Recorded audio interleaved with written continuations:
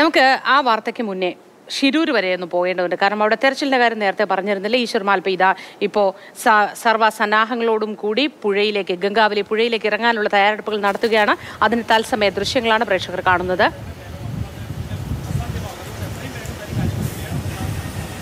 ഷിരൂരിലെ ദുരന്തത്തിൽ കാണാതായവർക്ക് വേണ്ടിയുള്ള തെരച്ചിലാണ് ഇന്നും തുടരുന്നത്.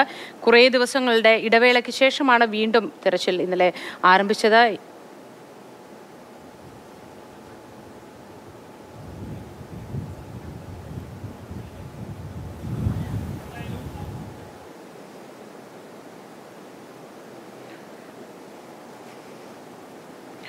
ഷിരൂർ ദുരന്തത്തിൽ കാണാതായവർക്ക് വേണ്ടിയുള്ള തെരച്ചിലാണ് ഈശ്വർ മാൽപ്പയും സംഘവും. അതിന്റെ ഭാഗമായി ഷിരൂരിലുണ്ട്. ഇപ്പോഴത്തെ ഈശ്വർ മാൽപ്പയെ സജ്ജീകരണങ്ങളോടുകൂടി പുഴയിലേക്ക് മുങ്ങാൻ തയ്യാറെടുക്കുകയാണ്. ഒരുങ്ങളുമായി ബിജു പങ്കജ് തുടർ ചേരുന്നുണ്ട്. അവിടെ നിന്നും ഷിരൂരിൽ നിന്നും. ബിജുവേട്ട ഈശ്വർ മാൽപ്പ എല്ലാ തയ്യാറെടുപ്പുകളോടും കൂടി പുഴയിലേക്ക് ഇറങ്ങാൻ തുടങ്ങുകയാണ്. നമുക്കും പ്രതീക്ഷിക്കാം അല്ലേ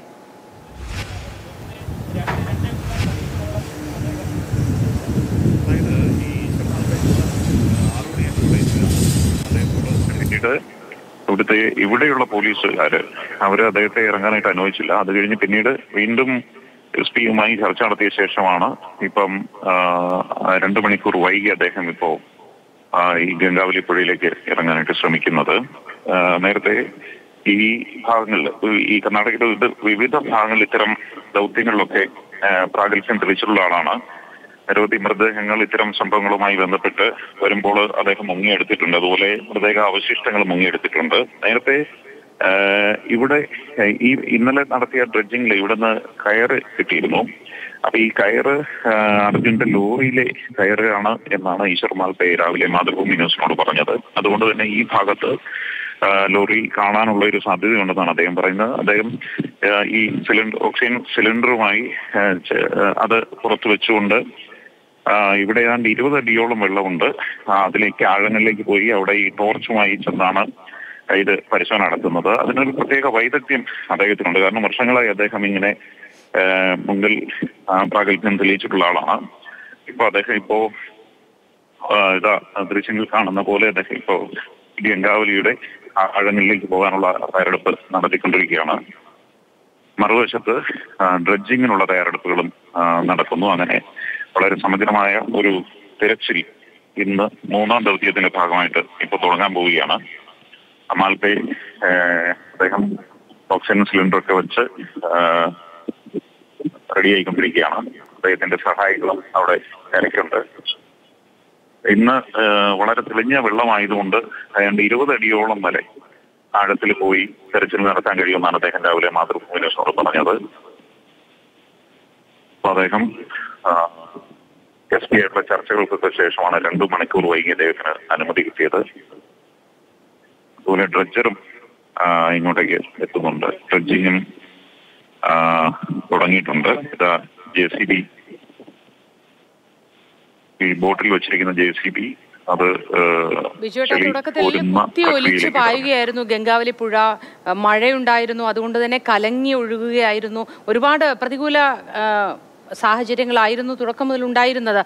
അതുകൊണ്ട് തന്നെ അന്ന് ഈ കുത്തി ഒലിച്ചുള്ള പോക്കിൽ ഈ പുഴ കടന്ന് കടലിലേക്ക് പോകാനുള്ള ഒരു സാധ്യതയുണ്ടോ എന്നൊക്കെ ആലോചിച്ചിരുന്ന ഒരു സമയമുണ്ടായിരുന്നു. പക്ഷേ ഇന്ന് ഈശ്വർ മാൽപ്പയുടെ വാക്കുകളിൽ ആത്മവിശ്വാസമുണ്ട്. ആ മൺകൂനയ്ക്ക് താഴെ ഉണ്ടാകുമെന്ന് തന്നെ ഉറപ്പിച്ച് പറയുന്നത് കുറച്ചുകൂടി പ്രതീക്ഷ നൽകുന്നു അല്ലേ?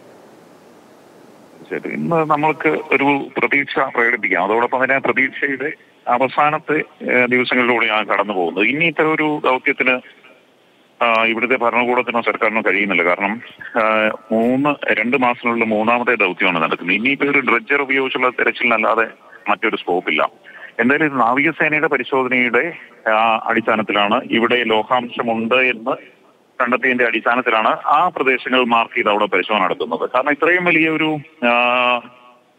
ഒരു മണ്ണിടിച്ചിൽ വരുമ്പോൾ അത് ആ ലോറി ചിലപ്പോൾ ഒരുപക്ഷെ ഒഴുകി പോയിട്ടുണ്ടാകാം ഒരുപക്ഷെ ഇവിടെ തന്നെ ഉണ്ടാകാം.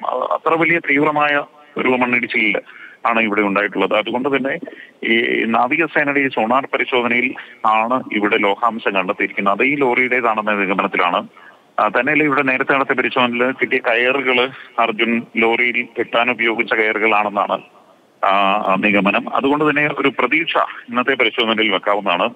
ഏതാണ്ട് തൊണ്ണൂറ്റിനാല് ലക്ഷം രൂപ ആണ് ഈ ദൗത്യത്തിനായിട്ട് ചെലവഴിക്കുന്നത്. ഗോവയിലുള്ള ഷിപ്പിംഗ് വിദഗ്ധരാണ്.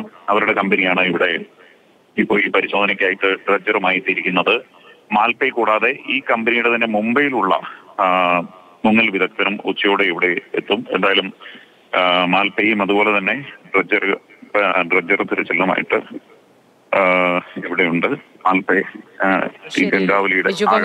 അവിടെ ഷെഡ്യൂളിൽ നിന്നും ഗംഗാവലിപ്പുഴയുടെ തീരത്തു നിന്നും വാർത്തകൾ വിവരങ്ങൾ തത്സമയം നമുക്ക് നൽകിക്കൊണ്ടിരിക്കുന്നത്.